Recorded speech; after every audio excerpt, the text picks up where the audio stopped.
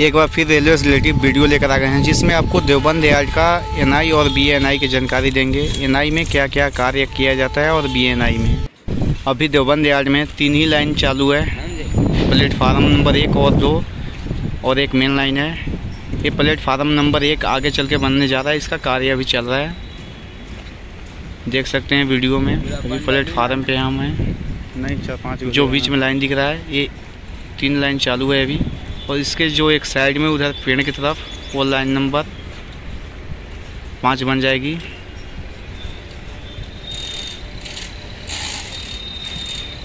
बहुत तेज़ी से कार्य चल रहा है दोस्तों। अब हम लोग चलते हैं स्टेशन से बाहर। ये दिल्ली की ओर जाने वाली लाइन है। देख सकते हैं इधर डिसमेंटल करने की तैयारी किया जा रहा है। ये सब जो भी आपको सूची दिख रहा है टर्न आउट ये सभी लाइन को कबार के प्लेन ट्रैक बना दिया जाएगा। देख सकते हैं, इसमें गिट्टी खाली कर दिया गया है। यहाँ पे मजदूर लोग लगे हुए हैं। मजदूर लोग बहुत ज़्यादा मेहनत करते हैं दोस्तों।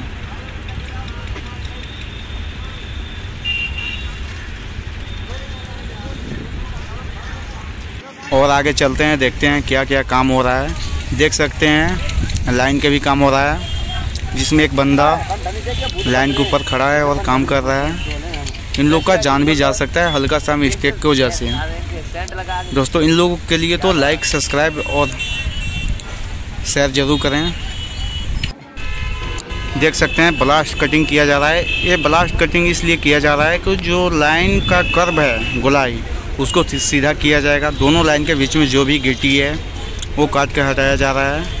ये एनआई और बीएनआई का तैयारी चल रहा है दोस्तों। एनआई में इसको लाइन को सीधा कर दिया जाएगा। दोस्तों एनआई और बीएनआई में जो भी लाइन न्यू बना, उसको जोड़कर चालू करना रहता है और जो कांटा का डिसमेंटल करना है, उसको डिसमेंटल करना रहता है। जो भी कंस्ट्रक्शन लाइन काम करती है, जितना भी काम हुआ न्यू लाइन बना न्यू टर्न आउट डला, वो सब हैंड ओवर होता है रेलवे को। और उसमें इंजन चलाकर दिखाया जाता है। देख सकते हैं, पूरा एनआई और बीएनआई का तैयारी कर लिया गया है।